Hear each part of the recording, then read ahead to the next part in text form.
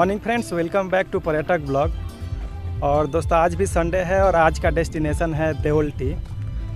देवल्टी दोस्तों, अपनी सांस्कृतिक विरासत के लिए काफ़ी प्रसिद्ध रहा है।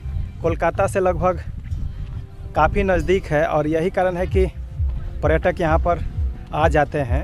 और देवल्टी में दोस्तों, घूमने के लिए रूपनारायण नदी के तट पर कुछ समय बिता सकते हैं और पास में ही स्वर्गीय शरत चंद्र चट्टोपाध्याय का घर भी है।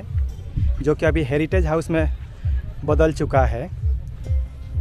तो दोस्तों, यहाँ आते हैं तो कोलकाता से लगभग 70 किलोमीटर के अंदर पड़ता है और काफ़ी नज़दीक है, एक डेढ़ घंटे में आ सकते हैं। तो हम लोग इसी वजह से यहाँ पर आ गए और का काफ़ी अच्छी जगह है दोस्तों।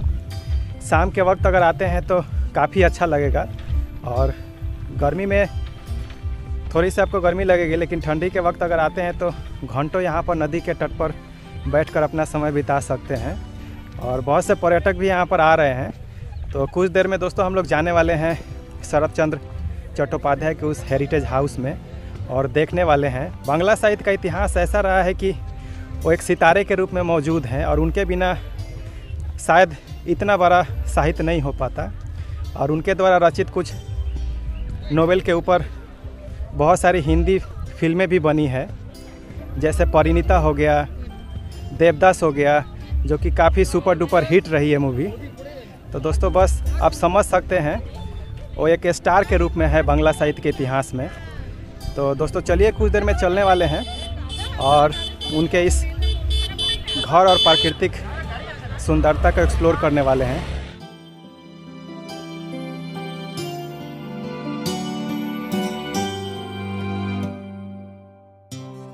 देवोल्टी अपनी प्रसिद्ध विरासत और संस्कृति के लिए काफ़ी प्रसिद्ध है। प्रसिद्ध स्वर्गीय लेखक शरद चंद्र चट्टोपाध्याय का निवास स्थान होने के कारण देवोल्टी का सामताबेर गाँव पर्यटकों के बीच काफ़ी लोकप्रिय है। सामता गाँव पश्चिम बंगाल के हावड़ा ज़िले में पड़ता है और खूबसूरत रूपनारायण नदी के तट पर बसा है।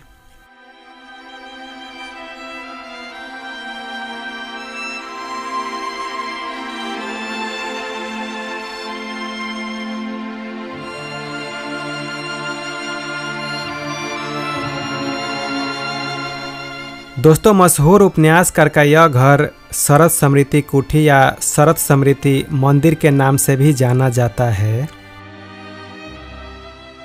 वर्तमान में यह घर एक संग्रहालय के रूप में बदल दिया गया है, जहाँ लेखक से जुड़ी अनेकों चीज़ों को संजो कर रखा गया है। यह घर 1923 में सत्रह हज़ार की लागत में बनाया गया था। वर्तमान में शरद चंद्र कोठी एक हेरिटेज हिस्ट्रिकल हाउस के रूप में दर्ज है, जिसे पश्चिम बंगाल सरकार ने 2001 में हेरिटेज कमीशन एक्ट के रूप में मान्यता दी।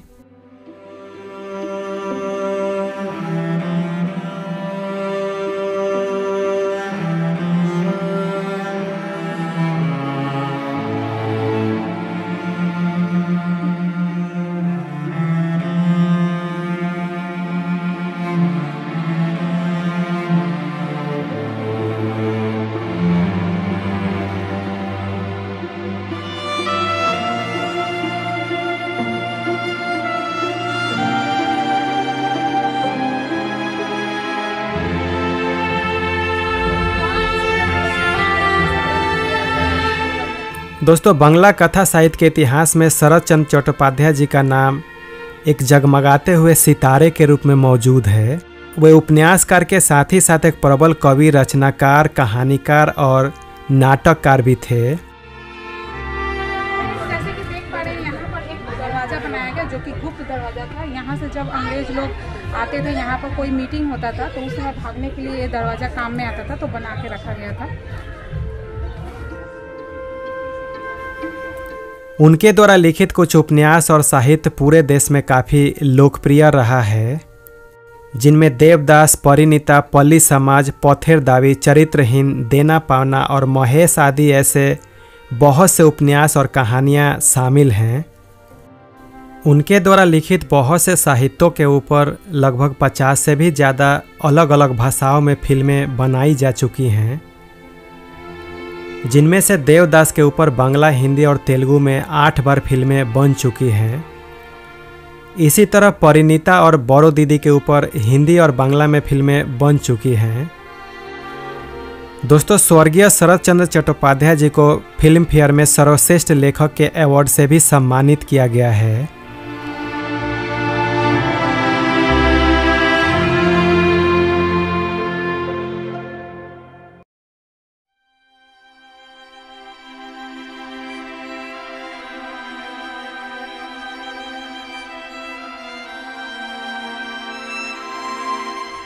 देवल्टी दोस्तों काफ़ी सुंदर और शांत जगह है और रूपनारायण नदी के तट के पास बसा है और यही वजह है कि स्वर्गीय राइटर शरद चंद्र चट्टोपाध्याय को प्रेरित किया और इनसे प्रेरित होकर इतने महान महान नोवेल लिख पाए और बांग्ला साहित्य के इतिहास को काफ़ी आगे ले जा पाए। छुट्टियों के समय बहुत से पर्यटक देवल्टी के इस खूबसूरत नदी के तट के पास पिकनिक मनाने के लिए भी आते हैं।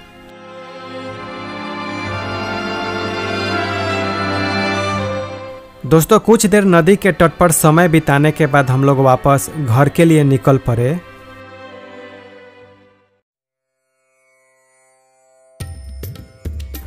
तो फ्रेंड्स देउल्टी घूम के आने के बाद हम लोग आए हैं सालासर धाम, जो कि बालाजी टेंपल है, और ये बहुत बड़ा हनुमान टेंपल है बजरंग बली का। तो फ्रेंड्स, चलिए इसको विज़िट कर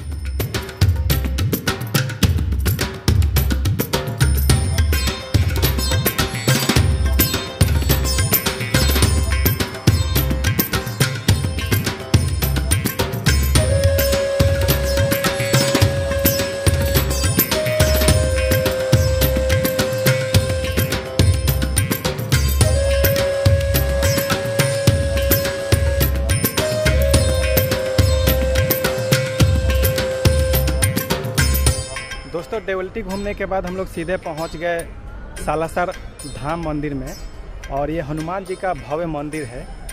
तो आप देवल्टी आते हैं तो इसे भी विज़िट कर ले क्योंकि रास्ते में ही पड़ता है। दोस्तों, बने रहे हमारे पर्यटक ब्लॉग में। फिर से आपसे मिलते हैं एक नए डेस्टिनेशन के साथ। तब तक आप अपना ख्याल रखिए, खुश रहिए और हमेशा मुस्कुराते रहिए।